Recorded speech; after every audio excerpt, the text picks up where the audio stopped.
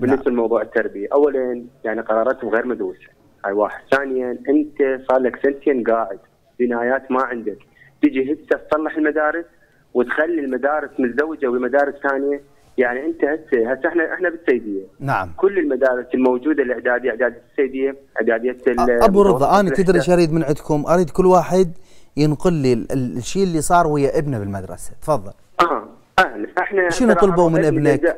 ابنك من شنو يعاني من يروح المدرسة تفضل ابني بالرابع علمي نعم دوامة من السنتين للخمسة بينما. دوام إعدادية أي. آه، آه، بس هو إعدادية السيديه دوام صباح ودوام واحد نعم راح رحنا المدرسة لقيناها بده يسوون بها أعمار طيب. أنا دا أقول صار لك سنتين قاعد سنتين قاعدين كورونا. ليش ما صلحتوها بهاي الأيام؟ ليش ما سويتوا؟ ليش ليش سووها هسه؟